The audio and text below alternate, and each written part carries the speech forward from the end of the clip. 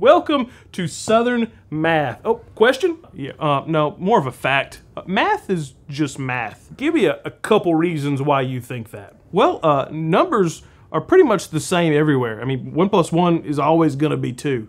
Go on. With what? There's, there's nothing left to say. Yeah, but I asked for a couple reasons and you only gave me two. Yeah, that's literally what a couple is. It's ju- okay. Never mind. I see where this is going. Exactly. In the South, a couple can be any number between two and five. Yeah, there's a few problems with that. Yep. And speaking of that, a few is any number between six and almost a dozen. Okay. And a dozen is 12. Finally, uh, unless we're at Krispy Kreme, then it could be 24, depending on the type of deal they're running. I mean, you're not going to pass up a buy a dozen, get a dozen for a dollar, are you? And there it is. And anything more than two dozen is just a whole mess. A whole mess of what? Uh, no, that's it. This makes zero sense. Plumb out. What? You just said zero, and the, the scientific term is plumb out. That is not science. Backtalk me again, and I will move your possum from the trash can to the road. Okay, thank you. Maybe I don't. Is, is that a good thing? Go ahead, pull out your calculator. I'll show you how this works.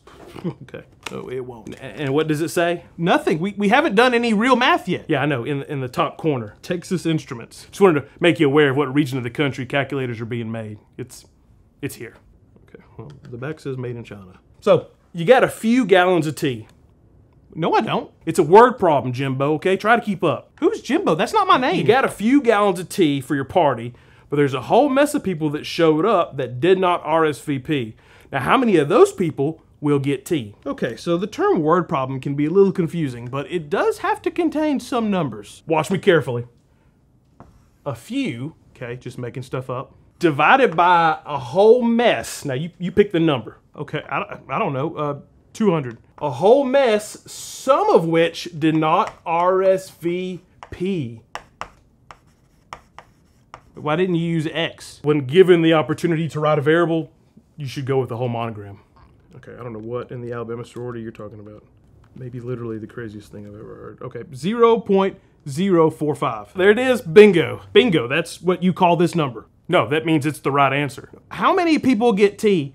0.05 people get tea. That you, you divided by the wrong number. Turn it cattywampus. You just gonna start making up words now? Come on, you know, tump it over. Still not using real words. Give me that. Shoe. Sh- shoe? Or, you know, go on now, get. What What is that? The answer of the people that did not RSVP, how many of them will get tea? None. So, shoe, go on now, get. This is easily the most ridiculous thing I've ever seen. Well, now you've done it. Your possum just went from playing in the trash to in the road playing dead. And if you talk out again, it'll be more than just playing dead. Wait, Am I the possum in this scenario? That that sounds kind of like a threat. All right, time for shapes. This is a plate, and this is a Thanksgiving plate. How long is this class? Mm, all the Dollar General stores. How many is that? oh my god. No.